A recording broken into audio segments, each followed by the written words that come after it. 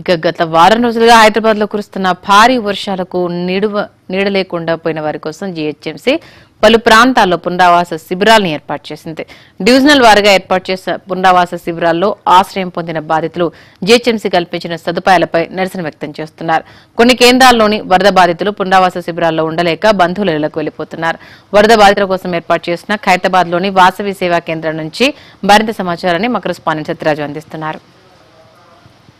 దానికి సంబంధించి లోతట్టు ప్రాంతాల్లో అదేవిధంగా ఎవరైతే వరద ముంపులో చిక్కుపోయినారో వారందరినీ సురక్షిత ప్రాంతాలకు అదేవిధంగా పునరావాస శిబిరాలకు తరలించారు. అయితే పునరావాస శిబిరాలు ఏవైతే ఉన్నాయో వాటిలో సరైన సదుపాయాలు కానీ సరైన ఆహారం కూడా ఇవ్వడం లేదని ఆరోపణలు వినిపిస్తున్నాయి. ఇక్కడ మనం ఖైరతాబాద్లోని ఆ ప్రాంతవాసులందరూ ఎవరైతే ముంపుకు గురైనారో వాళ్ళందరినీ కలిపి ఆ లగ్డికాపులోని వాసవి సేవా కేంద్రానికి తరలించారు. అక్కడ వాసవి కేంద్రంలో ఇప్పటిదాకా కొంతమంది బాధితులు ఉండగా మరికొంతమంది ఉన్నారు. వారు ఏమంటారు అసలు వారికి సరిపో వారికి ఇచ్చిన సదుపాయాలు కానీ ఆహారం కానీ ఎలా ఉందని తెలుసుకుందాం.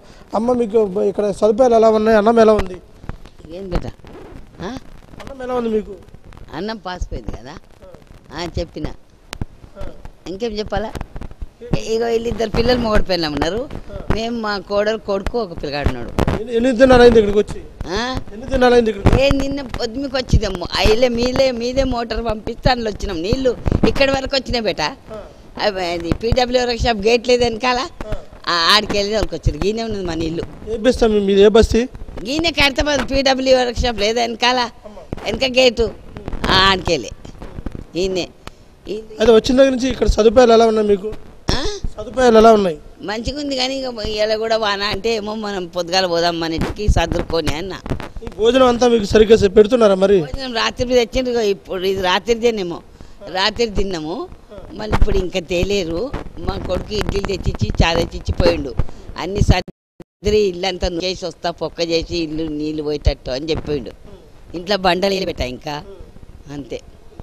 ఇక్కడ ఖైరతాబాద్ వాసవి సేవా కేంద్రంలో ఎవరైతే ఉన్నారో ఇక్కడ ఇప్పటిదాకా బాధితులు అయితే ఉన్నారో ఇక్కడ బా- బాధితులకు సరిపడా ఆహారం కానీ వారు ఏవైతే కోరుకుంటారో సదుపాయాలు కానీ ఇక్కడ లేకపోవడంతో వారంతా తిరిగి ఏదైతే బాధిత ప్రాంతాలు ఉన్నాయో బా ప్రాంతాలకు వెళ్ళిపోయిన పరిస్థితి. వాసవి సేవా కేంద్రంలోని కళ్యాణ మండపం ఇది. ఈ కళ్యాణ మండపాన్ని షెల్టర్గా తీర్చిదిద్దారు. ఈ షెల్టర్గా ఇచ్చారు ఇదే మున్సి జిహెచ్ఎంసీ ఆదేశాలతో ఇక్కడ షెల్టర్ ఏర్పాటు చేసినప్పటికీ ఇక్కడ సరైన సదుపాయాలు కానీ సరైన భోజనం కానీ ఇవ్వకపోవడంతోనే బాధితులందరూ తిరిగి తమ సొంత ప్ర- సొంత ఇళ్ళకే బురదైనా ఏదైనా అక్కడే ఉందామని చెప్పి సొంత ఇళ్ళకే పోయినారు.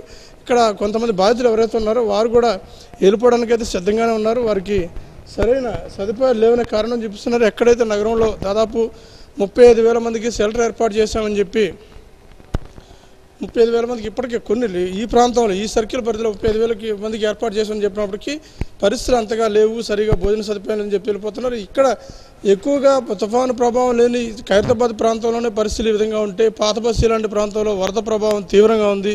అక్కడ లోతట్టు ప్రాంతాలు కావచ్చు కాలనీలు కావచ్చు పూర్తిగా నీట ముంపైన నూట ముంపునకు గురైన పరిస్థితి. అక్కడైతే సురక్షిత ప్రాంతాలకు కానీ పునరావాస శిబిరాలకు కానీ చాలామంది తరలిస్తామని చెప్పారు తరలించామని చెప్తున్నప్పటికీ వారి పరిస్థితి ఇంకా ఘోరంగా ఉన్నట్టు ప్రచారం జరుగుతుంది. అక్కడ ఎలా ఉన్నాయి పరిస్థితులు ఒకసారి తెలుసుకుందాం. Cameraman మొయినుద్దీన్తో Satyaraju CBI